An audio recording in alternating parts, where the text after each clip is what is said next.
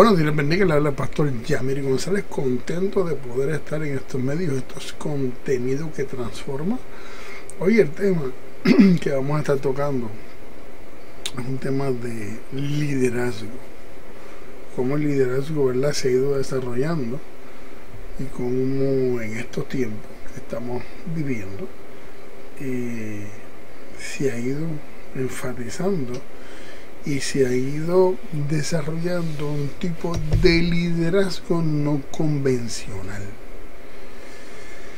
No es el liderazgo acostumbrado que vemos, que hemos escuchado, que sabemos, que está escrito. Y han ido surgiendo líderes más jóvenes, pioneros en y quizás en sus propias marcas, en sus propios juegos, en sus, mismos videojuegos, games, y la diversidad de variedad de, líderes que se han ido levantando en estos campos y, en medio de, de, esta situación que es a nivel mundial como la pandemia del COVID-19.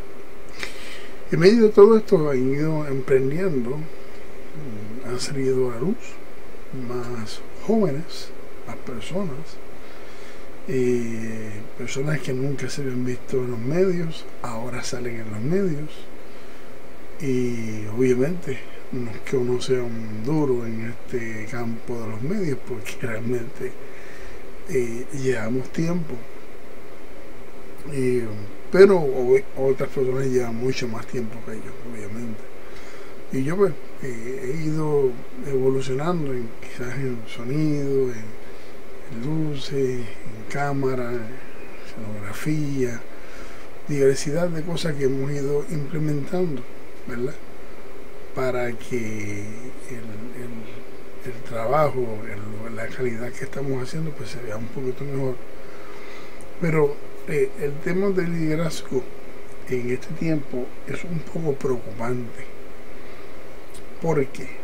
Bueno, porque es pionero en algo, es creativo en algo específicamente, pero carece de experiencia como los que ya tenemos una edad que hemos ido adquiriendo también conocimiento, pero a través de diversidad de experiencias, que los años nos han permitido tener esas experiencias. Pero ahora vemos una cepa nueva de líderes que no le cortamos las alas jamás y nunca. Pero vemos que es un poco chocante en cosas, crear cosas que muchas veces es más por placer que por un propósito. Cuando nosotros hacíamos, eh, quizás levantábamos un proyecto o desarrollábamos un proyecto, lo desarrollábamos en base a algunas necesidades que veíamos, ¿verdad? Pero ahora tú ves gente levantando proyectos, pero que es meramente por placer, por gusto, por el momento, por moda, por tiempo, pero nada fijo y nada estable. Eso es lo que significa que, que es una sociedad cambiante, varía de, de sentido, carece de esencia, en experiencia y en madurez a la hora de, de de ejercer eh, un proyecto o desarrollar algo que sea fundamental y que cubra algunas necesidades de cada persona. Eso significa que estamos como en los tiempos de Hitler, que se desarrollaron muchos proyectos y se quedaban a mitad porque nunca se llegaron a desarrollar del todo por, el problema de la guerra. Y estamos en una especie de guerra cibernética donde toda la gente está ahora en los medios y todos quieren compartir algo y hacer algo para estar en los medios y realmente no hay un propósito por la cual se esté haciendo eso. Y creo que el creyente y el cristiano no debe de caer en eso.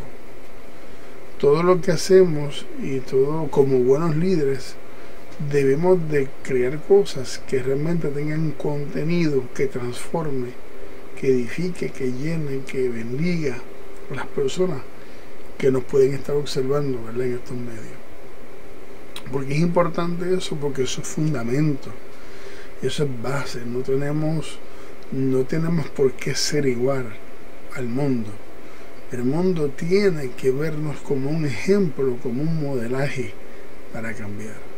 Los líderes que se levantaron en, la antigua, en hace dos mil años atrás, que, que fueron los pilares de la iglesia, el mismo Jesús como principal, como piedra angular, líder máximo, no hacía las cosas para que simplemente la gente lo viera o para ocupar unos views o para ocupar eh, ciertas cosas que, eh, que están pasando en estos tiempos.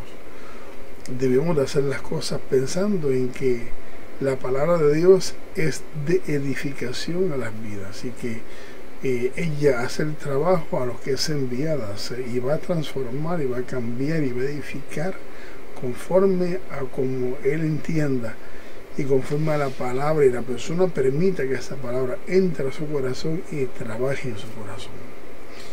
Eh, pero no podemos ser ni caer en, este, en esta tierra movediza porque es una navaja de dos filos.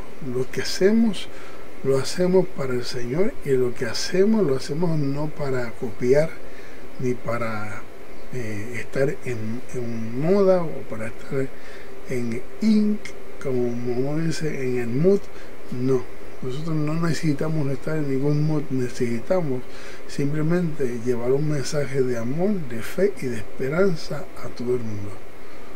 Esa debe ser nuestro norte siempre que hablemos por estos medios, porque no podemos alcanzar vidas simplemente con un video es con la palabra de Dios, es la que transforma, es la que edifica, es la que bendice, es la que hace el trabajo, es la que provoca en nosotros un arrepentimiento genuino de corazón y, y hace que nos apartemos de todo aquello que estemos haciendo mal, nos aparta de eso y nos pone en una posición de santificación, de santidad, de vivir una vida plena, una vida más abundante en, lo espiritual, obviamente hablando. Así que eh, es cuestión de nosotros enfocarnos en lo que realmente vale la pena y no hacer cosas, hacerlas porque simplemente este, quiero estar ocupando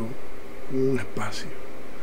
Eh, es importante mencionar esto porque mucha gente se va tras la fama, tras la la fortuna y,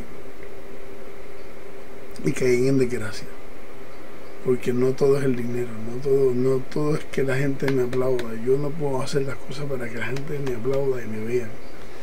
Y digan, wow, qué chévere, estás haciendo algo, ¿no? Estoy haciendo algo que se supone que debemos de hacer, no tan solo por los medios, sino cuando salgamos de todo esto, tenemos que lanzarnos a las calles y buscar la manera de crear conciencia a la sociedad y hacerle entender que estamos en los tiempos postreros y que Cristo está a las puertas y viene a buscar a una iglesia y nos viene a buscar a nosotros también. Así que, eh, y nos viene a buscar a ellos. Obviamente lo que Dios está buscando es que a través de todas estas cosas que están sucediendo, el pueblo abra los ojos y que la gente abra los ojos también de lo que está sucediendo.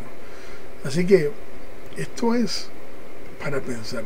Tenemos que sentarnos a analizar muchas cosas que realmente eh, no hemos sacado el tiempo para analizarlas.